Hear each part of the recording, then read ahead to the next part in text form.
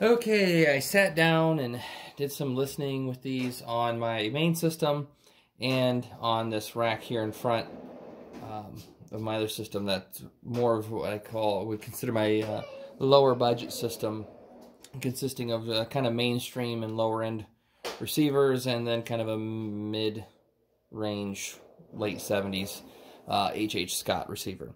But in this case, I'm using the uh, Sony down here which I think is the uh, STR-185. And it's a pretty entry-level, just two-channel stereo receiver. I don't even think it has subwoofer outputs. It's just a very basic stereo, stereo receiver, which I picked it up for 30 bucks used. Um, that's probably about what you can usually find them for. And it's actually, it's really not that bad of a starter, just you know, stereo. Um, you could still run a subwoofer if you needed to, um, um, long as your subwoofer has the uh, high level inputs or whatever. But um, I'm using that, and then oh, here we get a little closer. Yeah, there we go. Yeah, it's just a good old Sony, uh, yeah, yeah, STRDE 185. Just a good old stereo receiver with treble and bass balance, and it's got bass boost, but I'm not using it, and AB speaker switching. And um, all the uh, treble and bass are just set at zero, no bass boost, nothing, just... And then far as the DAC, since I play all my music off my music computer, I'm using this uh, Sound Blaster Play 3 USB and to this headphone, and then this runs down. It's just a plain old uh, uh, auxiliary or 3.5 millimeter uh, jack to RCA on the other end. That's plugged into the back of the receiver. Nothing fancy or nothing special. This is all just basic stuff, you know. Even, uh, I haven't reviewed this yet, but even the FX Audio DAC X6 I use in this, I'm just running the good old mom and pop RCA cables. But anyway, to kind of figure out where these things are crossed over because I took the other woofer out. There was too much glue and stuff on it. I couldn't read the value on the capacitor. So what I did is, uh, and I've done this with other speakers too, um, I'll just get on YouTube um, or wherever I can generate a sine wave and just start like these. I was guessing at around probably 5,000. I was a little high. Um, so I went down to 4,000 and at 4,000 there was pretty much, I mean, I'll kind of cover one as much as I can or hold a piece of cardboard over one and try to see what I can hear out of each driver separately. And at 4,000, pretty much not getting anything out of the tweeter. Getting plenty of sound out of the woofer, but nothing out of the tweeter. And then when I uh, switch to a 4,500 hertz sine wave, then I'm getting sound out of both again. So somewhere around 4,000, I mean, I might have been able to dial it in a little bit more, but somewhere around 4 to 4,500 is where that capacitor is filtering out the lower frequencies from the tweeter. So, eh, it's really, it's still what I, about what I expected, and, um, it, it, to me, it's, I mean, it's, you already have I mean, there's not much they can do about it because these speakers were built on a budget for people on a budget, a low budget, we'll say. And then uh, you're giving this six and a half inch woofer. It's not necessarily a very good six and a half inch woofer. A lot of work to do. By uh, it's you know it's trying to cover, we'll say 70 hertz to somewhere around 4,000, 4,500 hertz, which um, I listened to some. I have uh, Billy Joel's. I have a couple of Billy Joel 24-bit 96 uh, you know, HD uh, tracks I listen to on here, and I listen to some Celine Dion, Adele, Blink 182, and it seems like, from what I can tell, the six and a half inch woofer is doing most of the vocal work. And being in where it's crossed over and they're letting this thing run out at, it's going to, which um, it can be okay, but in uh, some of the higher vocals, it, the uh, a good tweeter can reproduce that better than a a cheap six and a half inch woofer. Now, uh, let's see. for the uh, um, for the what 40 bucks 50 bucks these go for i'm not complaining um you yeah you might be able to find some used bookshelf speakers that are better for roughly the same price maybe. I don't know. Um it's hard to say on ebay because the shipping is going to be a little bit but as far as brand new speakers these i think are still probably going to be the best thing you're going to find for 40 or 50 bucks at least that i've come across. Now, where the way they're built, like I said, does not surprise me.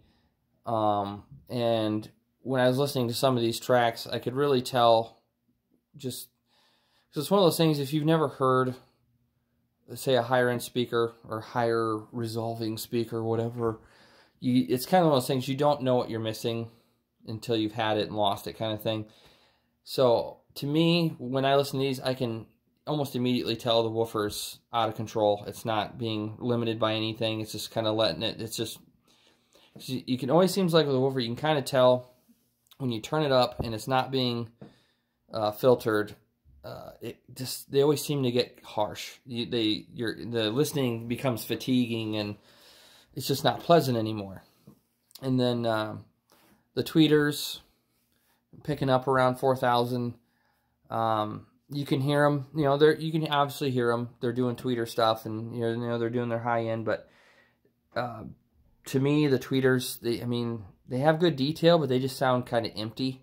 They have no warmth or smoothness, which I'm very accustomed to soft dome tweeters. I I don't really have well, I don't have any speakers that have these kind of low end tweeters in them.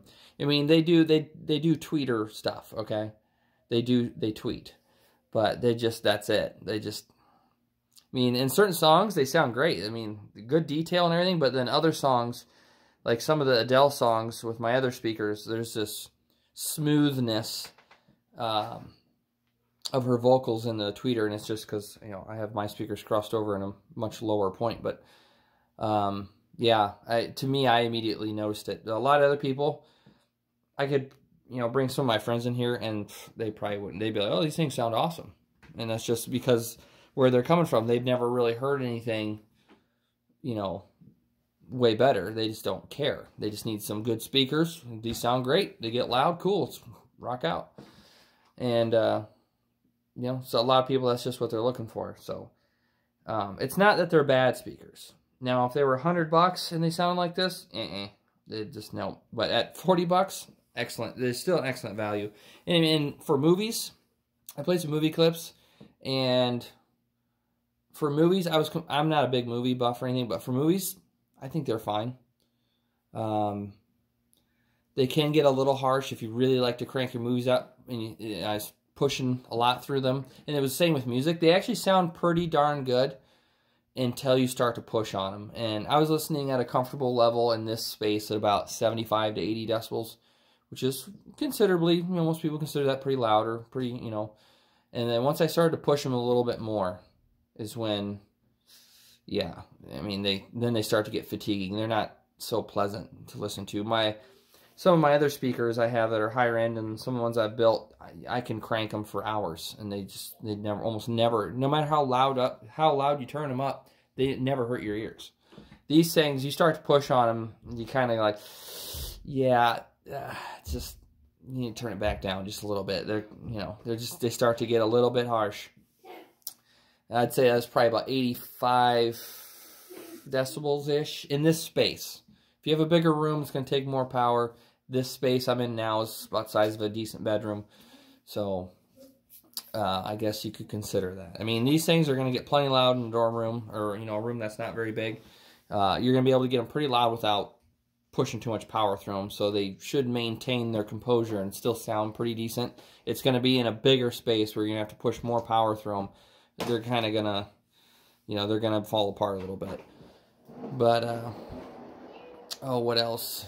Um, I mean, I don't, I hate to critique them too much just because of their price. And I, you know, when Dayton built these, they weren't out, really out to impress anybody, I would think, with the sound. More they're trying to impress people with the price and what you're getting for the money, and they definitely did that.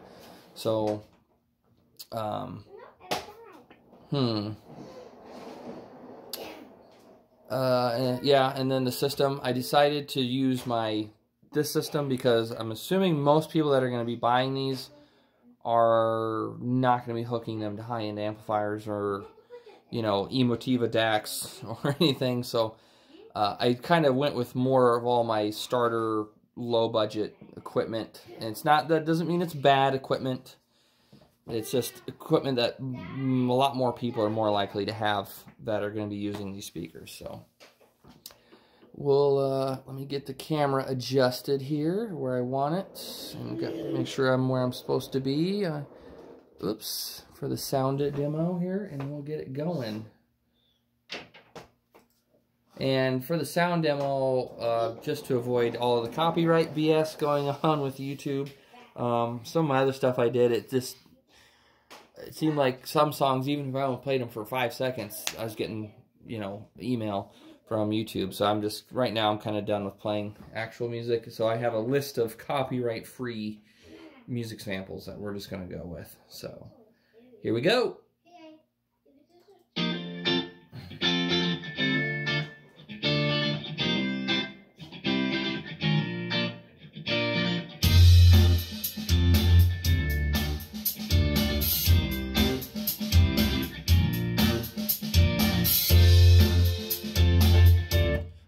Forgot to mention, where I had the volume set on this, in this space, it's, I'm going to say averaging around 77 to 82 decibels. So, I mean, if I guess if you want to know roughly how loud that is and you already have a stereo, download a decibel app on your phone, sit down where you normally listen to music, open the app, keep turning the stereo up till it gets to about 80 decibels. That's about how loud it is for me right now in this space. So. Ah,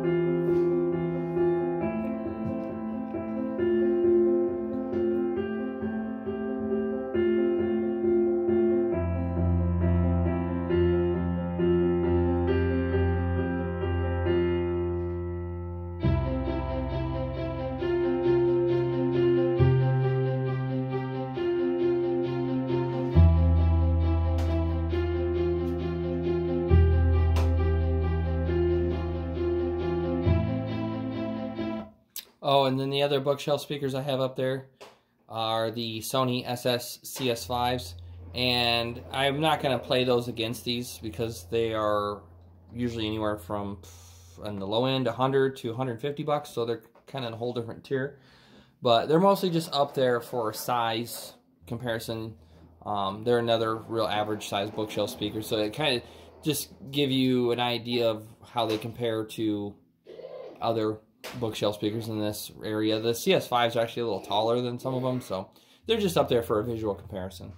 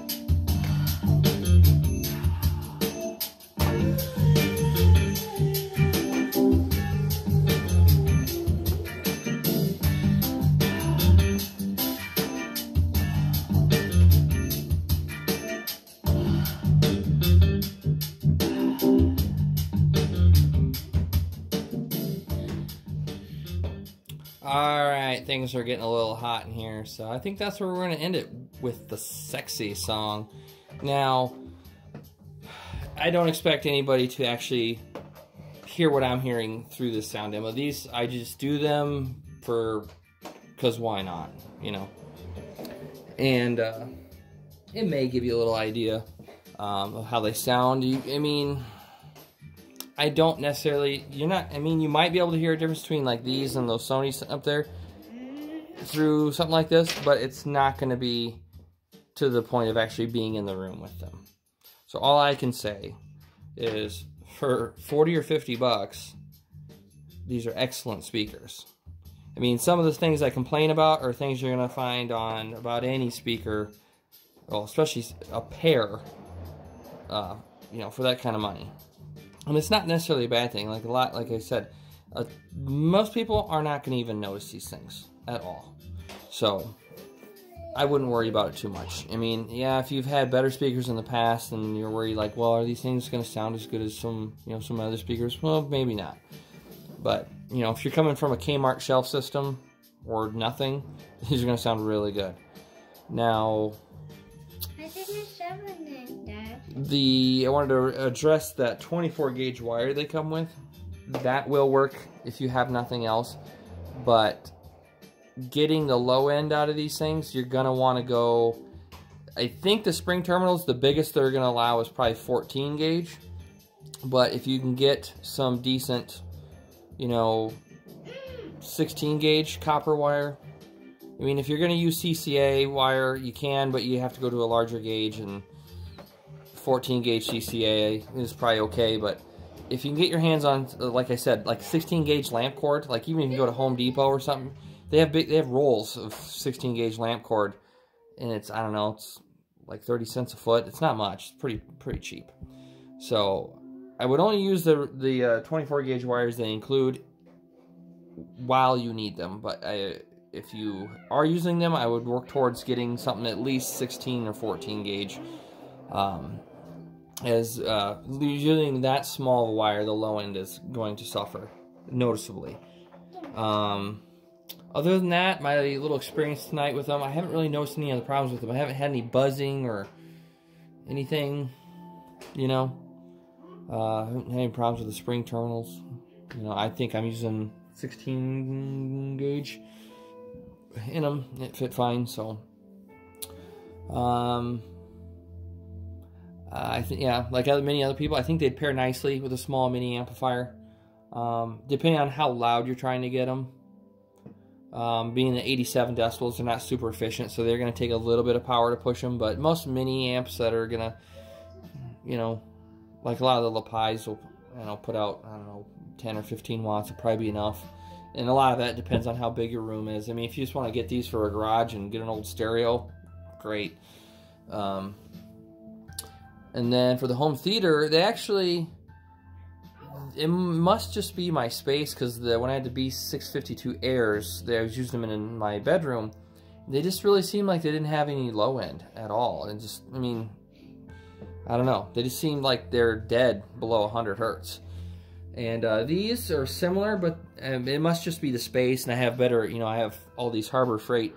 Uh, little tip for you if you need some quick, cheap you know, wall treatment, go to Harbor Freight, get some packing blankets. They're cheap and they're just thick enough they, they'll kill a lot of reflections. But I actually have some decent sound uh, dampening down here. So I think that's what's making the difference. That's another tip.